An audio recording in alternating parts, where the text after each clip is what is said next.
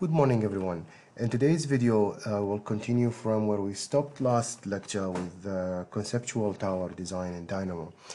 And uh, in the phase one I just generated uh, the podium and the tower body mass for uh, just a 2D plane, uh, sorry for just 2D line that you can have here in uh, Revit and you just select those lines and Dynamo will immediately create for you the required uh, podium mass and the tower mass based on the setbacks you specified. That's what we was generating uh, in the previous lecture by knowing the event uh, masses and the shape of the of the two parts of the tower that you are designing.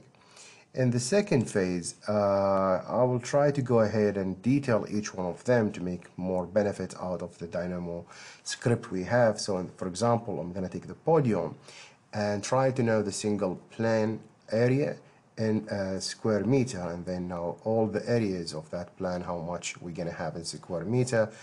Uh, of course, that will be very useful in uh, cost estimation. So you can link that to how much uh, floor finish or floor material you need or you go and change that into the uh, cost estimation of the building.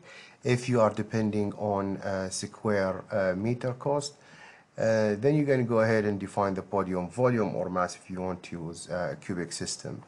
Uh, single plane a single plan perimeter if you want to use uh, a, a, a, length units. And that will help you to know you know any uh, length unit you're going to use in the system, for example, the skirting system. Uh, sum of all uh, perimeters, uh, the sum of all perimeters actually in the podium and for the whole towers and that's multiplied by the amount of levels you have in the podium. And finally podium elevation if you want to clad it.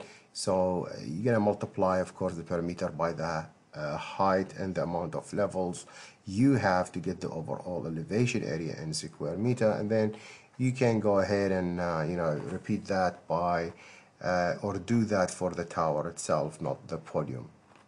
So in order to do that I'm, I'm actually finishing or actually starting from where I stopped last lecture in phase one and I will go ahead and use a surface.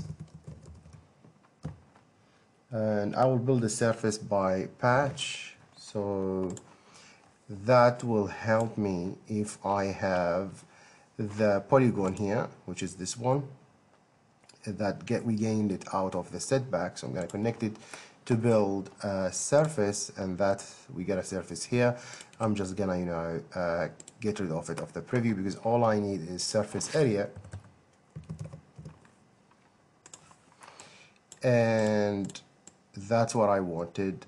And in it you're gonna get this number and that is what really I need because this is the you know this is the plan uh, area that represent actually the plan area for uh, you know the, the podium here. So if I go and select this polygon you see that's the podium uh, per and that will give me the area of the overall area of the uh, built plan anyway uh, so who said it's correct? I just uh, I just have the setbacks here and that's the that's the shape that I selected. I just took it copies and draw it again here and get myself uh, you know if I go back to Revit itself this is the 33.7 so you can go ahead and do the calculation. Uh, it's just a 3 uh, 33 point 7 and we multiply it by 66 so you're supposed to get 2224.2 and that should be you know similar to having one floor uh, in uh, in here you see? So we have a match so we are working uh, correctly. So this is can just you know select them both and hit control and G and apply you know and say that that this is the plan. Uh, let's say it's a podium plan area or actually single plan area and I'm gonna measure it in square meter. So that's uh, that's the end up result for it. That's a single plan. That's what you can see here. Now, uh, knowing that, if I know, if I need to know how much the overall area is for all the podium, it's very easy. It's just to multiply A by B, where uh, A is the single plan and B is the amount of levels you have for the podium itself. So I'm going to connect this to you know the inputs that we have done in the previous video and of course we have here four podium levels and the podium level height is four. So that's that's what we need for podium. So I'm going to connect this. I'm going to connect I'm just get, getting that back to one level. So just to double check so you get this uh, out of a number which is the same as this which is technically correct which is multiplying one level by the height of sorry by the area of the uh, you know one one plan so that technically will be let's just fix that or test that and make this two. So we have two levels here and that's in the podium and that gives us 448.4 that's true. So I'm just uh, just testing the whole thing. And again uh, I can just say it's a podium uh, all plans area or whatever whatever you want to call it it's all uh, plan areas and it's also measured in square meter. So that will be useful for you to estimate you know that's a square meter that you have in this case and you can just go ahead multiply it by the S dollar. So you know how much for example uh, finishes you need for the floor which is really important to know in the earlier phases of your design which is good. Because you can click any of those profiles and this this script will give you uh, all the podium areas and the volume and the elevation uh, all the detail that we was talking about in the beginning. So that's that's the first phase which is knowing the areas. Now, if I want to know the volume for the overall thing, and of course you're gonna know, or actually gonna need, uh, again, A by B, and it A will be a single area, as you can go ahead and pick for a single plan, and then you have to multiply it by the height of each level and the amount of levels. So again, you need to know height and then you need to know the levels. You multiply those two things uh, by each other. So we have here, for example, we have 4 meter as uh, uh, the height for a single level and then you have to take the number of levels uh, to the consideration that give you I think 8 so you multiply that by 8 and you get this dude here and it will be represent uh, very basic uh, podium uh, let's say podium volume or mass I don't know what you want to call it and it's measured by, by cubical uh, meter. Uh, again that's that's the number you're gonna have and if you are using this in your estimation you're gonna get know exactly how much the volume you have for your uh, for your building for your podium actually. Now uh, let's do the elevation. If I know I need to know how much the area of the elevation. Again I will use now uh, the perimeter so I need to know the length of this dude all right? So what do I have? It's just a polygonal curve so I'm gonna use uh, I don't know let's say curve dot perimeter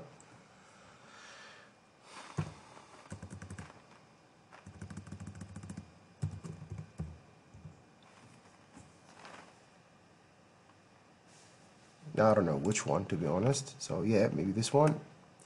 So that's uh, for a surface beautiful. And I have a surface this one here right in the ground. I'm just gonna get this it to it I think there is the same thing for a curve.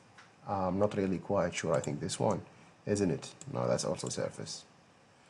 Anyway too lazy to find it. Uh, in the previous one I was trying to do the you know when I was trying to do the test uh, for this video before I do this video I think I used the curve one. But anyway I have no no problem using the surface one. Uh, plus it will be a good idea always to check for such a nodes so don't trust dynamo completely. Just go ahead and just go 3 3.7 and add that to 6 6 and then multiply that by 2 so this is the perimeter which is 100% correct so you don't need to worry about it. So uh, I'm just gonna go and select this guy and hit G or you can just change the thing you know change the name of this node itself.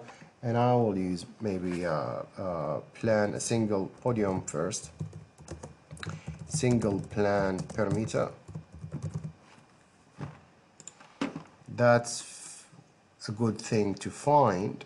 Now that's for a single sorry that's for a single plan. Now you have to multiply that by the uh, amount of levels you have. So again a, a by b or a multiplied by b where a is a single plan perimeter and then you multiply that by the amount of levels you have. So where is it? I have podium levels which is 2 I'm gonna connect that. So help me God that will be podium uh, or all podium podium all I don't know how to call it uh, plans perimeters now I think I was just saying that I was making the elevation and for some reason I made this I don't know anyway uh, to now make the elevations uh, I think I need again a by b. Now I'm just gonna a multiplied by b where a again is the single perimeter that's what I was supposed to do in the beginning and then I forgot what I was talking about as usual. And then the height of the overall. So we need to know uh, how many levels again this one and then multiply by the height of each one of them. So this one. Beautiful. So that's the overall area of the elevation. So you can know how much material you need for glazing or uh, whatever whatever finishes you can use for the podium. This is the overall podium uh, let's call it uh, elevation area. And it's also measured in square meter. So that is guys that's really uh, really useful for you to know to get this all inputs right now in the beginning. And it will be a very powerful tool if you connect each one of those to the actual material price. And that can give you you know whenever you select any object any shape, you know, any any any boundary for a, a, a, an area or the site, and immediately it will tell you based on your setback how much actually you will uh, it actually cost to build this podium and how much area and how much volume and all this detail that we're gonna find for the podium and also for the tower.